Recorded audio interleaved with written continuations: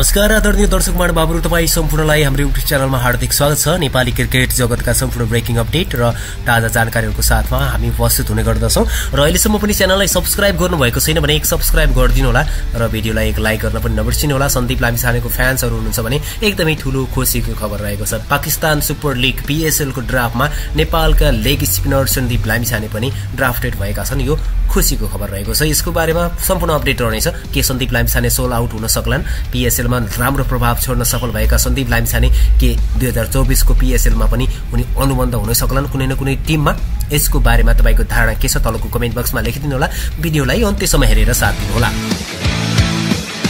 नेपाली राष्ट्रिय क्रिकेट टिमका leg spinner Sandeep लामिछानेले सन् दुई हजार चौबिसमा आयोजना हुने पाकिस्तान सुपर लिग पिएसएलको टी ट्वेन्टी फ्रेन्चाइज क्रिकेट प्रतियोगिताको ड्राफ्टमा समावेश भएका छन्। यो अत्यन्तै ठूलो खुसीको खबर रहेको छ। नेपाली क्रिकेट टिमका फ्यान्सहरूको लागि नेपालका स्टार सन्दीप लामिछानेको फ्यान्सहरूको लागि पनि ठूलो खुसीको खबर रहेको छ। उनी प्लाटिनम श्रेणीबाट ड्राफ्टमा पर्न सफल भएका हुन्। दर्शक महानुभावहरू प्लाटिनम समूहको सूचीमा परेका खेलाडीहरूलाई कुनै टोलीले खरिद गरेमा एक लाख तीस हजारदेखि एक लाख सत्तरी हजार अमेरिकी डलर पारिश्रमिक पाउने प्रावधान पनि रहेको छ यो पनि मैले तपाईँलाई जानकारी गराउन चाहे। सन्दीप विदेशी खेलाडीको रूपमा पाकिस्तान सुपर लिगको ड्राफ्टमा परेका छन्। सन्दीपले यस अघि पनि पाकिस्तान सुपर लिग खेलिसकेका छन्। सन्दीपले यसअघि लाहोर क्वालन्टसबाट पाकिस्तान सुपर लिग खेलिसकेका थिए। पाकिस्तान सुपर लिगको आगामी संस्करण सन् दुई हजार चौबिसको फेब्रुअरी तेह्रदेखि मार्च उन्नाइस तारिकसम्म सञ्चालन हुने तालिका पनि रहेको छ। पिएसएलमा सर्वाधिक खेलाडी रजिस्टर गर्नेमा इङ्ल्यान्डका खेलाडीहरू सर्वाधिक अगाडि रहेका छन्।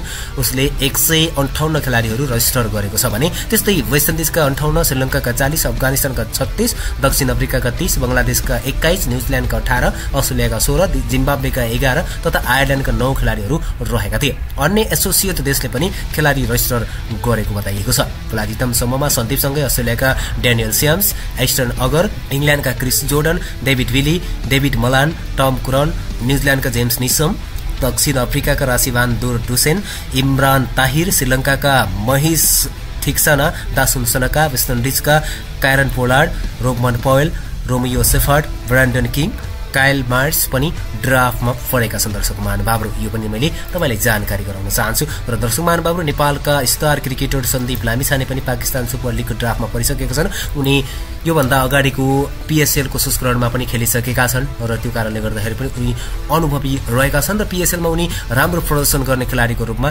स्पिनरको रूपमा पनि रहेका थिए। र त्यसो त विभिन्न फ्रेन्चाइज लिगहरू सन्दीप लामिछानेले खेलिसकेका छन् र उत्कृष्ट प्रदर्शन गरिसकेका छन् र उत्कृष्ट प्रदर्शनका बावजुद पनि नेपाली स्टार क्रिकेटर सन्दीप लामिछाने पछिल्लो समयमा विभिन्न विदेशी फ्रेन्चाइजी लिगहरूमा सहभागी जनाउन सकिरहेका थिएनन्।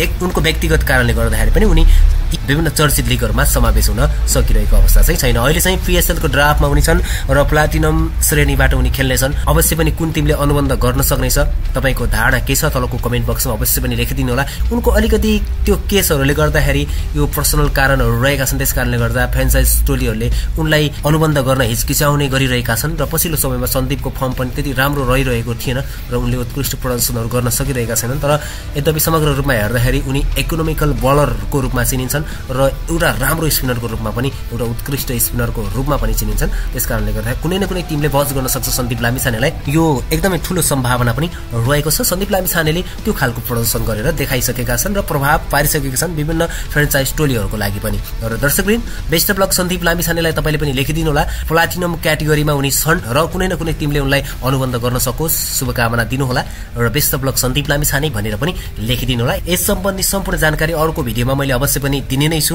तबसम्मको लागि हाम्रो च्यानललाई सब्सक्राइब गरिदिनु होला भिडियोलाई एक लाइक गरिदिनु होला र भेट्नेछौँ अर्को नयाँ सामग्रीको साथमा नयाँ भिडियोमा। अहिलेलाई भने हामी सबैलाई बिदा दिनुहोस्। नमस्कार जय नेपाल जय नेपाली क्रिकेट।